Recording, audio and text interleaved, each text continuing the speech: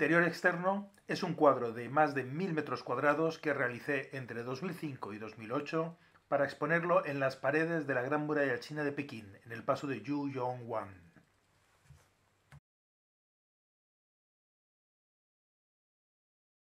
En 2005 aterricé en Pekín por primera vez. Allí me encontré con unos paisajes maravillosos, una ciudad compleja y llena de contrastes, y grandes monumentos, montañas inolvidables y lugares dignos de ver. La cultura milenaria y la tecnología se funden en ciudades complejas, llenas de gente, pero al mismo tiempo repletas de posibilidades, arte y cultura. Viajar por los paisajes de China implica adaptarse a sus distancias y multitudes, toda una experiencia realmente inolvidable. La primera vez que mi amigo Jan Ling me llevó al paso de Yuyongguan, cerca de Pekín, estuve una hora subiendo las escaleras de la Gran Muralla. Al llegar arriba contemplé una sección curva y me pregunté qué era aquello. El espacio que descubrí al bajar fue una plaza inmensa con unos altos muros. Lo primero que hice fue medir. Tenía la necesidad de saber exactamente cuánto medía todo aquello. Necesitaba todas las distancias y las alturas. Sentado en lo alto de un torreón, alejado de los turistas, empecé a dibujar bocetos de figuras y esculturas. Pero lo que más me preocupaba era el ángulo de inclinación de la muralla. Un ángulo que iba a determinar la superficie final de mi obra. Aunque aquella era la primera vez que pisaba la muralla y era mi segundo día en China, yo ya veía la obra terminada un proyecto imposible, algo que no sabía ni cómo se tenía que hacer, ni financiar, ni si me darían los permisos. Esa misma noche en el hotel, y repleto de ideas y mensajes, lo que hice fue plasmar un primer boceto con un fotomontaje para poder enseñar mi idea. Poder realizar y colocar en ese entorno esculturas monumentales fue el colofón de la idea. Pasar a limpio los dibujos y realizar las secciones de las inclinaciones y los contornos y perímetros finales me dio la superficie total de más de mil metros cuadrados. Con el espacio expositivo resuelto a nivel espacial, pude por primera vez dividir toda la superficie en seis partes, siendo la parte A la principal con casi 300 metros cuadrados. Una obra de estas dimensiones se caracteriza por un alto contraste entre los bocetos y días previas y el resultado final. Por lo tanto, el estudio inicial y los dibujos que se realizan incluso varios años antes son de extrema importancia para un proyecto de Los primeros bocetos a lápiz me demostraron que el cuadro final tendría 128 metros de largo por 9 y 10 metros de alto. Por lo tanto, necesitaba un punto de vista cercano al suelo donde los cuadros podían ser de 2 metros de altura y luego estaba el resto de la superficie, un espacio que debía competir con el monumento y el paisaje. Cada figura tenía sus estudios anatómicos de manos y pies, pero lo realmente importante era cómo se transformaban los aspectos figurativos en líneas geométricas para ir más allá de la forma, y sobre todo para evocar más mensajes al fundirse con el cuadro. Figuras sentadas, tumbadas, parejas y esculturas verticales que soportaban columnas eran figuras rendidas ante la fuerza de las esculturas que llevaban en su interior. La acuarela me permite estructurar la tonalidad y el color sobre el papel, de forma que cuando pinto los cuadros definitivos, la manera de aplicar la pintura es prácticamente la misma.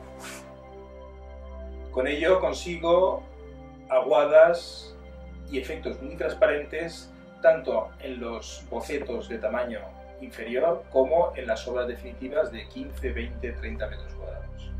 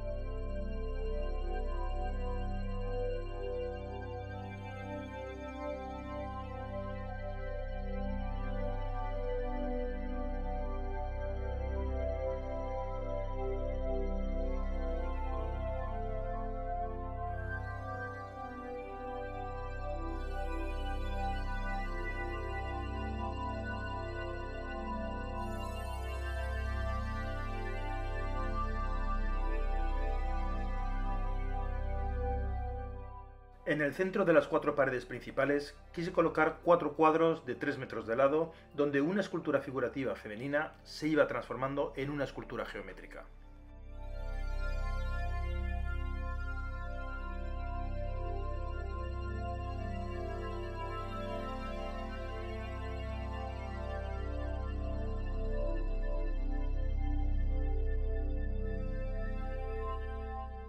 Cuatro meses después de mi primer viaje a China y de la ascensión de la Gran Muralla por el paso de Yu Yongguan, pude visualizar el boceto en acuarela de todas las ideas, los mensajes y las figuras con sus esculturas.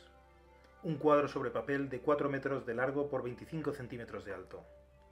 Este boceto representaba, a escala, los 108 metros de largo y los 9 y 10 metros de alto que tenía ese pequeño trozo de la Gran Muralla China.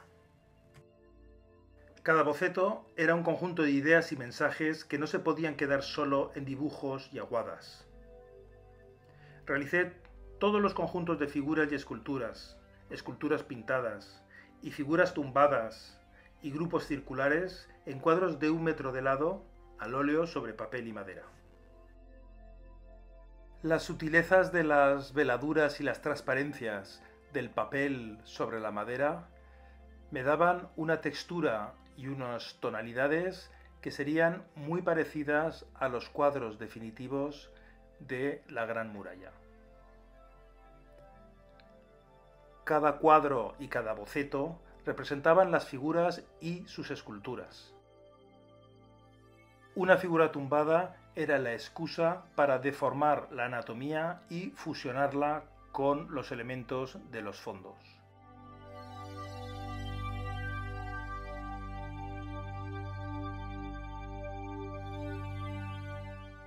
Las parejas de esculturas y elementos geométricos significaban un enlace con las formas geométricas de los fondos y esa alteración de la anatomía que quería que sirviera de puente entre la imagen de una figura tumbada y los elementos arquitectónicos rectas y curvas de las composiciones de los fondos y de la propia Gran Muralla China. Al final, la dimensión total de la obra, esos 108 metros, me iban a permitir poder transmitir y enviar como mensaje multitud de imágenes e interpretaciones de las figuras de aspecto figurativo y geométrico. En el fondo son composiciones e ideas que iban a rodear toda la muralla y que estando en la parte más cercana al suelo y con una altura de unos 2 metros, se quedaban a la altura visual correcta de cara a los espectadores.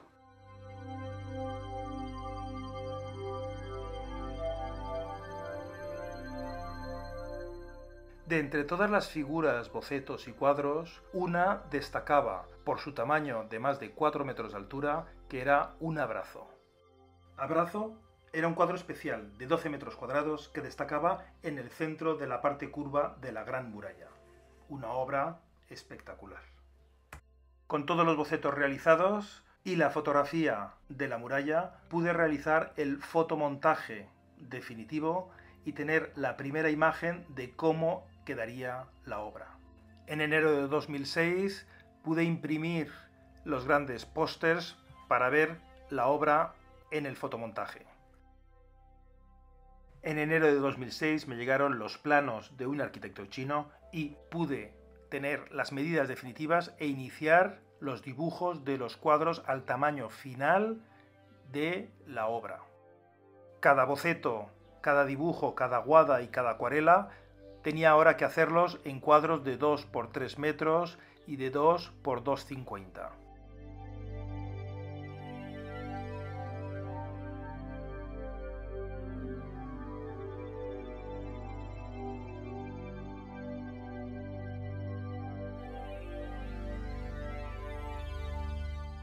Pasar del lápiz grafito y los dibujos en una hoja A4 a los grandes papeles y las superficies de 6 u 8 metros cuadrados es solamente un ejercicio de proporción y distancia perceptual.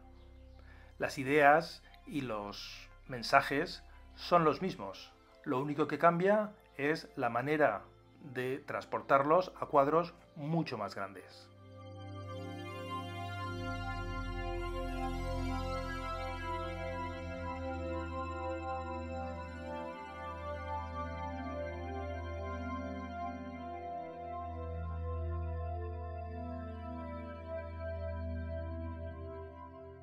Una vez dibujados, la aplicación del color era exactamente igual que en acuarela, es decir, aguadas de colores muy suaves que por transparencia se van sumando, dejando el blanco del papel como el tono base para la obra. Poco a poco se van añadiendo los tonos oscuros para ir modelando el volumen de las figuras.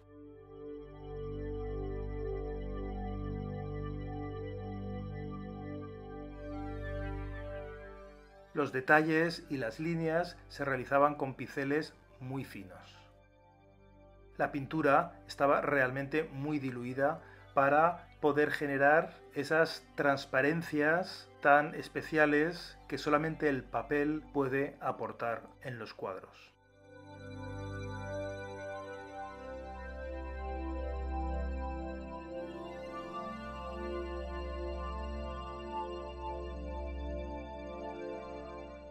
Algunas esculturas estaban terminadas con lápiz grafito, donde los grafismos me aportaban un elemento de dibujo que generaban la expresividad del trazo.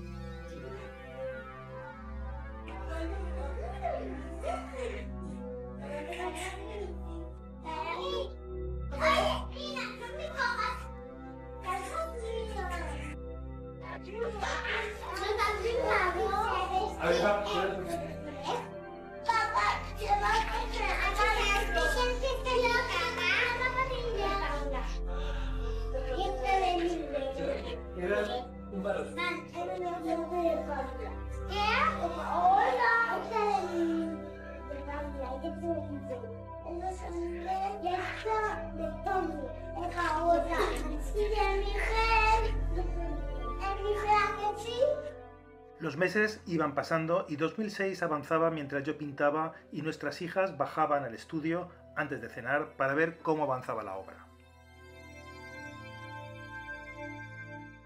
Había alejado de mí todos los problemas relacionados con un permiso que nunca llegaba o con la manera de financiar semejante proyecto. Solo sabía una cosa.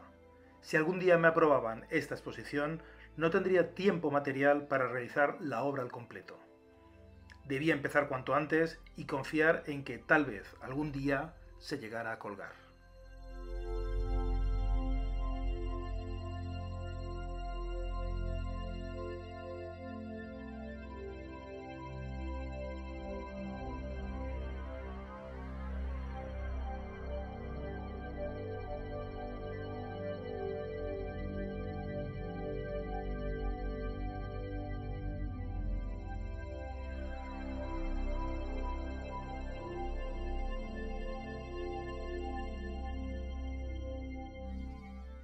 Mientras pintaba cada cuadro de 6 metros cuadrados, lo único importante era el tono de cada veladura, los colores y cómo estos podrían formar parte de los fondos de hasta 10 metros de altura en la Gran Muralla de China de Pekín.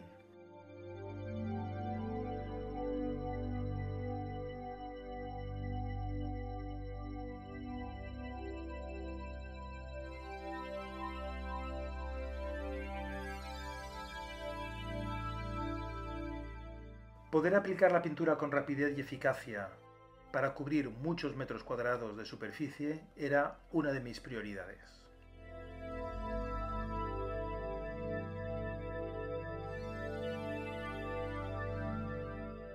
cuadro a cuadro iba encontrando el equilibrio entre los tonos y las veladuras sutiles que requerían mis obras, y al mismo tiempo la rapidez para poder resolver todos los cuadros de manera suficientemente rápida como para que me diera tiempo a terminar. Durante la mitad del año 2006 pude realizar casi todos los cuadros independientes y detallados de las ideas principales de la obra final. Unos cuadros de 4 y 6 metros cuadrados que, si no se exponían, eran literalmente demasiado grandes para poderlos colocar en cualquier casa o en cualquier galería. Cuando un cuadro quedaba terminado, lo plegaba y lo amontonaba. Como si la finalidad de todo aquel trabajo estuviera clara, yo continuaba pintando y cubriendo metros cuadrados de papel. Varias veces a la semana enviaba algún correo electrónico a mi amigo Yang Ling en Pekín preguntándole por el tema de los permisos. Día tras día, cuadro tras cuadro, esperaba tener una respuesta que no llegaba. Y sin embargo hoy, 15 años después, me sigo preguntando cómo fui capaz de dedicarme tantos meses a un proyecto que no sabía si me darían el permiso para realizarlo. Pero los cuadros inmensos y nuestras hijas andando por ellos con naturalidad y sin cuestionarse nada, me dieron la fuerza necesaria de no esperar más de China y poder continuar. La visión del sueño realizado era lo único que me mantenía. Ver el cuadro colgado en la gran muralla china era como un sueño, un sueño imposible que, lejos de impedirme continuar, me alentaba a conseguirlo sin reparar en temas materiales, económicos o logísticos. Seguía sin saber si me darían los permisos, si se podría colgar, si el chino que conocí en una cena nueve meses atrás cumpliría su palabra, si mi proyecto había llegado a buen puerto, si les gustaba la idea, las figuras, las formas y el mensaje que yo quería transmitir. Desconocía cómo se podía colocar una obra de estas dimensiones en lo alto de la montaña a 40 kilómetros de Pekín. La frase de John Ling, aquí no es imposible, era lo único que me unía con la realidad. Así pues, solo la sucesión de cuadros, trabajar en el estudio y mi familia y nuestras hijas era el futuro que tenía por delante.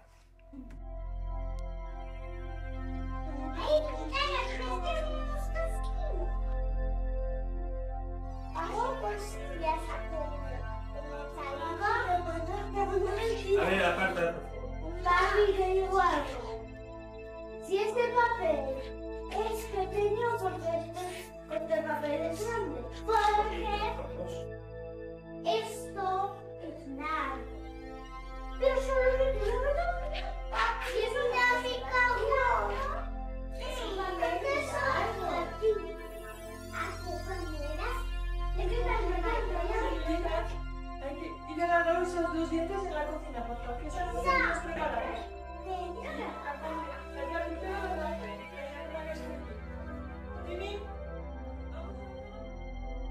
Muchas veces me han preguntado el porqué de unas obras tan gigantescas.